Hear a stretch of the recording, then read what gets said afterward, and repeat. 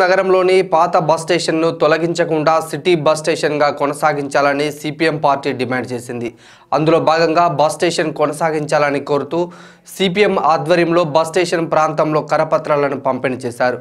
నూతనంగా నిర్మించిన బస్ స్టేషన్లో హైటెక్ బస్సులకు అనుమతించి పాత బస్ స్టేషన్ను సిటీ బస్ స్టేషన్గా చేయాలన్నారు. బస్ స్టేషన్ పరిసర ప్రాంతాల్లో చిరు మధ్యతరగతి వ్యాపారాలు చేసుకొని వేలాది మంది జీవిస్తున్నారని దానిని తొలగిస్తే వీరి పరిస్థితి ఏమిటని సిపిఎం కార్పొరేటర్ మాజీ మున్సిపల్ చైర్మన్ అప్రోజు సమీనా ప్రశ్నించారు. బస్ స్టేషన్ను తొలగిస్తే పెద్ద ఎత్తున ఆందోళన చేపడతామని ఆమె స్పష్టం చేశారు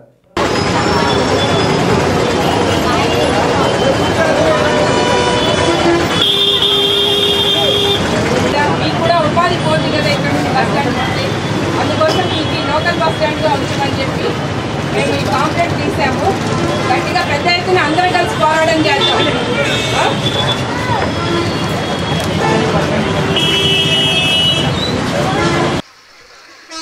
ఈ రోజున ఖమ్మం బస్ స్టాండ్ని గత అరవై సంవత్సరాలుగా ఇక్కడ అన్ని వర్గాల ప్రజలకు సేవలు అందిస్తున్నటువంటి ఈ ఖమ్మం బస్ స్టాండ్ని బైపాస్ రోడ్లో నిర్మించినటువంటి కొత్త బస్ స్టాండ్కి తరలించడానికి ప్రయత్నం చేస్తున్నారు.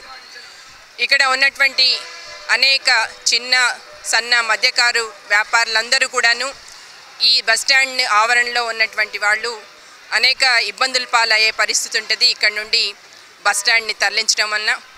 అదేవిధంగా ప్రజలందరికీ కూడాను ఆర్థిక భారం అన్నది ప్రజల మీద పడే పరిస్థితి ఉంటుంది.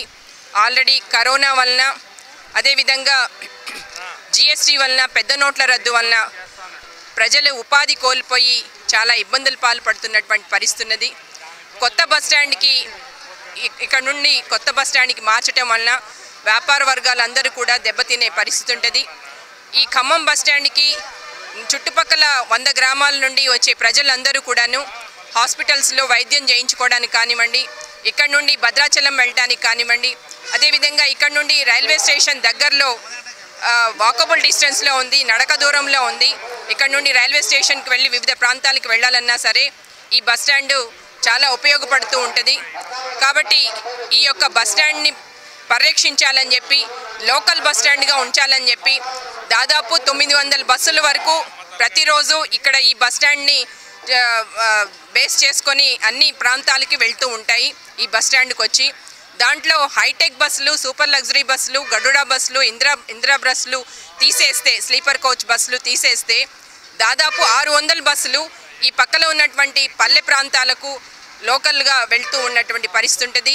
ఇక్కడికి వచ్చే ప్రతి ఒక్క రైతులు కానివ్వండి ఇక్కడ వ్యాపారానికి వచ్చే వాళ్ళు కానివ్వండి ఇక్కడ మనిషికి అవసరమైన ప్రతి వస్తువు కూడా ఈ చుట్టుపక్కల ఉన్నటువంటి షాపుల్లో దొరుకుతుంది కాబట్టి ఈ బస్ స్టాండ్ని లోకల్ బస్ స్టాండ్గా సిటీ బస్ స్టాండ్గా ఉంచాలని చెప్పి హైటెక్ బస్ స్టాండ్గా కొత్తగా అంటే ఖమ్మం అభివృద్ధి చెందింది. అభివృద్ధి చెందినటువంటి ఖమ్మం బస్ స్టాండ్కి చాలా పెద్ద ఎత్తున అనేక పెద్ద బస్సులు వేరే ప్రాంతాలకు వెళ్ళే వేరే రాష్ట్రాలకు వెళ్ళే బస్సులు వస్తూ ఉంటాయి. ఆ బస్సుల్ని హైటెక్ బస్సులు అన్నింటినీ కూడాను హైటెక్ బస్ స్టాండ్కి కొత్త బస్ స్టాండ్కి మార్చాల్సిందిగా కోరుతున్నాము. తప్పనిసరిగా ప్రజల యొక్క ఆర్థిక భారాన్ని దృష్టిలో పెట్టుకొని ప్రజల యొక్క మనుగడిని దృష్టిలో పెట్టుకొని దీని మీద ఆధారపడి జీవనిస్తున్నటువంటి మధ్యతరగతి పేద వర్గాల ప్రజలందరినీ దృష్టిలో పెట్టుకొని ఈ బస్ ఇక్కడే ఉంచాలని చెప్పి మేము కోరుతున్నాము. రాష్ట్ర ప్రభుత్వము తన మొండి వైఖరిని విడనాడాలని విజ్ఞప్తి చేస్తున్నాము. కలెక్టరేట్ని షిఫ్ట్ చేశారు. ఇప్పటికే ప్రజలను ఇబ్బంది పెడుతున్నారు. చుట్టుపక్కల గ్రామీణ ప్రాంతం నుంచి ప్రజలు ఈ బస్ స్టాండ్లో దిగితే షాపింగ్కి కానీ లేదా హాస్పిటల్కి వెళ్ళాలన్నా లేదా రైల్వే స్టేషన్కి వెళ్ళాలన్నా అందరికీ అందుబాటులో ఉండే ఈ బస్ స్టాండ్ని లోకల్ బస్ స్టాండ్గా ఉంచాలని విజ్ఞప్తి చేస్తున్నాము. ఇప్పుడు సూర్యాపేటలో చూస్తున్నాం మనం ఆల్రెడీ సూర్యాపేటలో హైవే వేరే ఉంటుంది local bus stand local bus stand పాత బస్ స్టాండ్ కొనసాగుతూనే ఉంది.